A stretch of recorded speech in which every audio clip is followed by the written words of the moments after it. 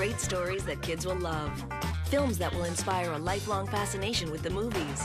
Discover what it means to be a classic for kids, parents, and grandparents with TCM's Essentials Junior.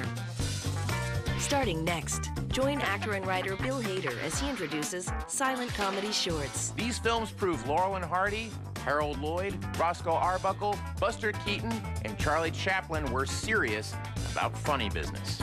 To learn more, go to tcm.com slash essentials junior. And join host Bill Hader for TCM's Essentials Junior all summer long. Only on Turner Classic Movies. Visit shop.tcm.com for savings up to 60% off a thrilling collection of movies and merchandise during our Movies That Are Out of This World sale. Robbie the Robot is the genial host of Forbidden Planet. Space alien Michael Rennie brings things to a screeching halt in the day the Earth stood still. And Washington, D.C. is the battleground for Earth versus the flying saucers. Check out the Forbidden Planet and King Kong t shirts in our collectibles section at shop.tcm.com or call 888 9 TCM Shop.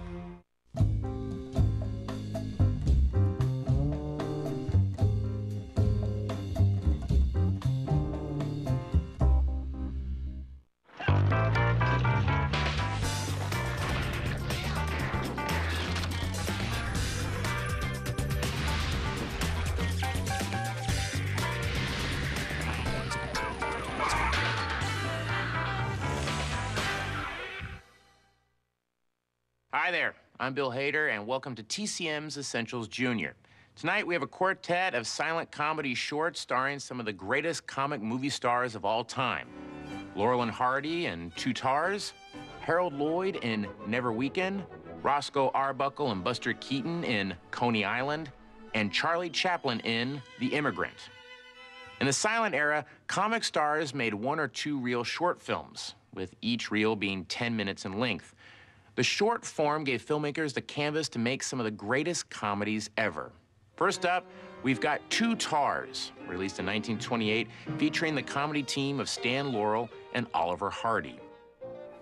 In this one, the duo go head to head with what you'll recognize today as an everyday evil traffic jams. It's the tit for tat destruction that Laurel and Hardy trade with other motorists that makes this one of their best. So, here first in our silent comedy quadruple feature are Laurel and Hardy with a fleet of automobiles in Two Tars.